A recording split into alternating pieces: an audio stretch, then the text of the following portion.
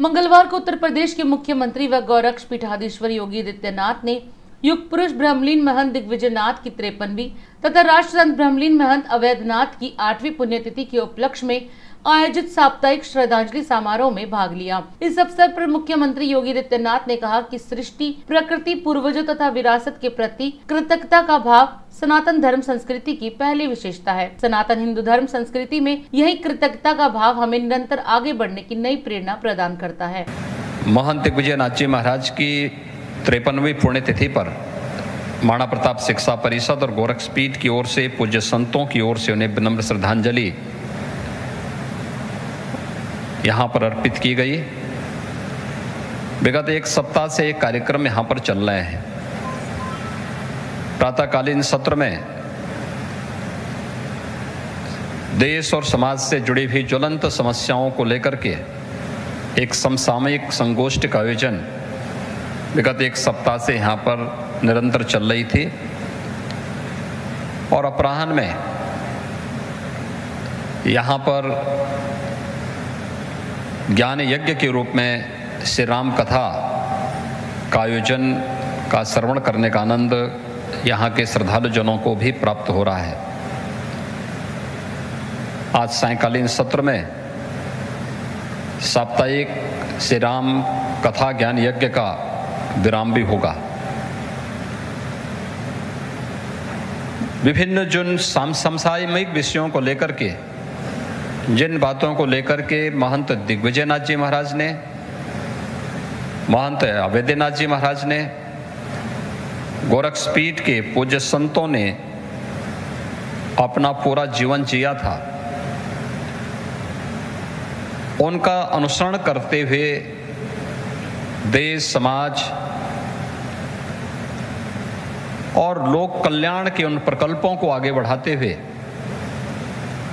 कितना हम आगे बढ़े हैं, कितना हमने कुछ किया है, इन्हीं सब बातों का आंकलन करने और अपने पूज्य आचार्यों के प्रति कृतज्ञता ज्ञापित करने के लिए श्रद्धांजलि साप्ताहिक समारोह का एक कार्यक्रम गोरक्षपीठ में प्रतिवर्ष आयोजित होता है। सनातन हिंदू धर्म इस बारे में हमें हमेशा एक नई प्रेरणा प्रदान करता है। हमारे यहाँ जब हनुमान जी लंका में जा रहे होते हैं तो उनसे मेनाक पर्वत के द्वारा जो प्रश्न पूछा जाता है, वह सनातन धर्म की ही परिभाषा पूछी जाती है।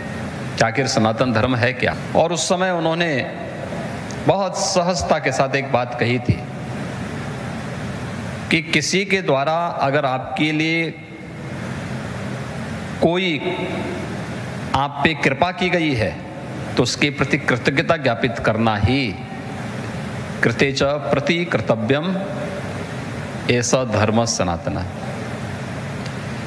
यानी सनातन धर्म किसी के द्वारा आप पर की गई कोई कृपा और उस कृपा के लिए कृतज्ञता ज्ञापित करना,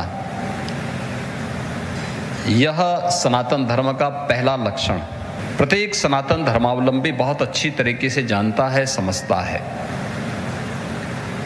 कोई जीव, कोई जंतु इस सृष्टि चक्र का, क्योंकि जीवन चक्र केवल मनुष्य से नहीं चलता है।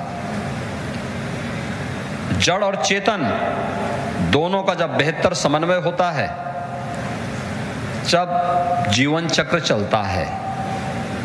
जीवन चक्र को भी चलाने के लिए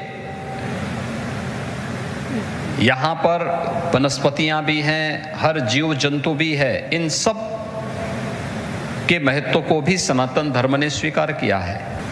गोरखस्पीठ की परंपरा सनातन धर्म के मूल्यों और आदर्शों के प्रति तो सदैव समर्पित भाव के साथ कार्य करती रही है। इसके साथ ही शिक्षा के क्षेत्र में, स्वास्थ्य के क्षेत्र में,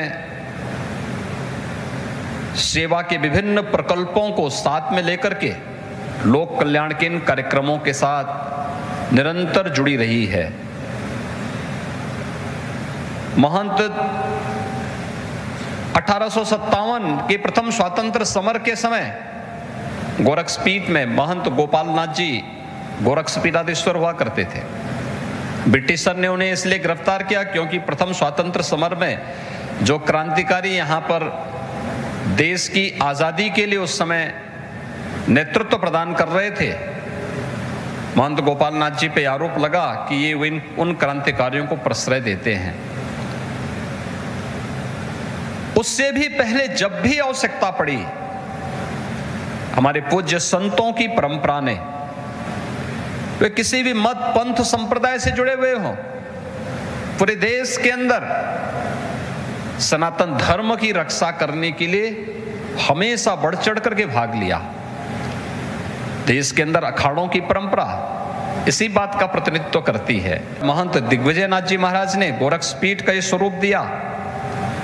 उन्होंने महाराणा प्रताप शिक्षा परिषद की स्थापना करने में अपनी महती भूमिका का निर्वहन किया। तो आज उनकी प्रति कृतज्ञता ज्ञापित करते हुए गोरक्ष पीठ और महाराणा प्रताप शिक्षा परिषद उनकी पुण्य स्मृति को प्रतिवर्ष इसी उत्साह और उमंग के साथ आयोजित करते हुए उनके प्रति कृतज्ञता ज्ञापित करती है। विद्वत जनों के प्रति हृदय से धन्यवाद ज्ञापित करते हुए पूज्य महंत दिग्विजय नाथ जी महाराज को कोट कोटि नमन करते हुए अपनी विनम्र श्रद्धांजलि देता हूँ। ओम शांति। और अधिक खबरों के लिए आप हमारे YouTube चैनल दैनिक इंडिया दर्पण को अभी सब्सक्राइब करें और नोटिफिकेशन के लिए बेल आइकन को प्रेस करना ना भूलें।